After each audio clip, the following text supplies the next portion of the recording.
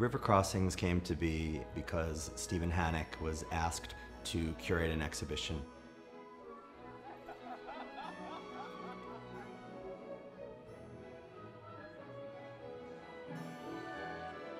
He said to the head of Olana and myself, I'd really like to do something to help you all. What, you know, what could it be? I, would love to just donate a new wing or, you know, but that's not in the cards. Maybe I can curate a show.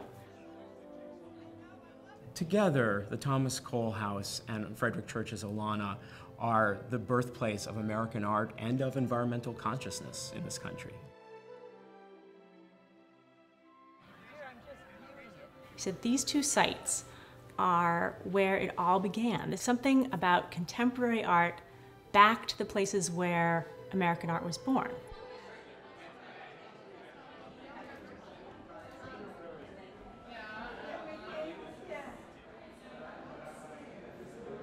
The artists that we started with were artists that had been represented in my paintings over the last 20 years.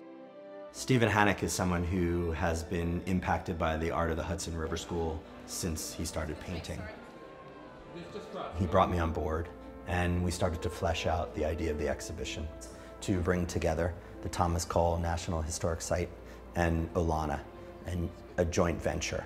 We had never done something of this scale and something throughout the entire historic site and on the grounds. It's really just a much bigger effort than we had engaged with before. So part of the idea of river crossings that's inherent in its title is that it's about this kind of ping-ponging across the river from Catskill to Hudson and back. The idea of the motifs that these artists painted, the Hudson Valley and the River Valley and also the mountains to the west. And in addition to the idea of being able to get back to New York City very easily. A visit to Olana is a very special thing. Here you have 250 acres of a hilltop that have been totally designed by an artist in the 19th century. But I think the fact that there's contemporary art in it actually connects it more to us because here you see how things that are the products of the great artists of our time fit so well and so nicely into this meticulously handcrafted house. And I think that's something that visitors have been experiencing to their delight, really, in coming to these exhibitions. When you go into Olana and the first thing you see is the court hall with Martin Puryear's extraordinary sculpture Question, which is this large work made out of three different kinds of wood, which seems to have literally sort of sprung from the ground of the building and then goes right back down into the ground. We were really taken back by how enthusiastic every single artist was. Are you kidding? They're going to show contemporary art there. Which one of my pieces do you want?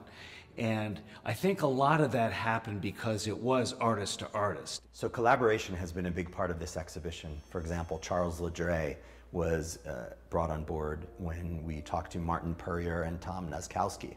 Valerie Hegarty is another local artist. Her installation is extraordinary and most people go in there and they don't actually notice it right away. And then they notice that there's a painting seemingly on an easel in the middle of the room and they've all been broken up as if someone's gone at it with a double barrel shotgun. That they are about the idea of nature kind of reclaiming art. This was a constant theme in Cole and Church's paintings. The idea that human history is still being written, but tends to be short in terms of empires and cultures. All the pieces really connect. Angie Kiefer has this piece that has Niagara Falls flowing. What would a video piece be doing in a house that has something to do with landscape painting. But it's a landscape. One of Thomas Cole's most favorite pieces of the landscape was the waterfall. He said it's the voice of the landscape. And that's what this piece is. It's the voice now of the house. You can hear it flowing. The beauty of the Hudson River School paintings and the majesty is also embodied in Angie Kiefer's piece. One of the works at Olana that seems most connected to the site is Maya Lin's Silver River Hudson, which hangs in the small sitting room right catty corner to Frederic Edwin Church's great painting of Petra in Jordan.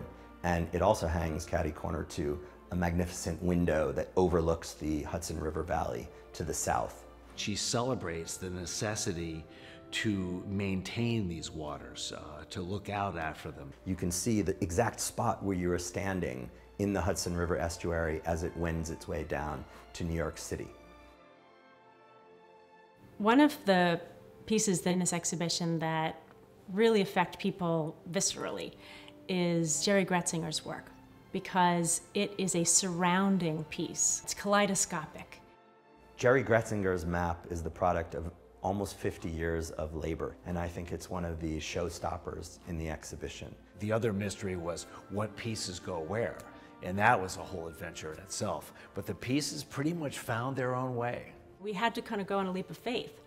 And as the artworks were chosen by this curatorial team, Stephen and Jason, and each one came to light, we were wowed by the quality of the artworks. Turns out that Cedar Grove, the Thomas Cole House, is a great place to see contemporary art. Right now we have Cindy Sherman and Stephen Hannock and Thomas Cole all sitting around his living room talking together in a vibrant, crazy, but silent conversation.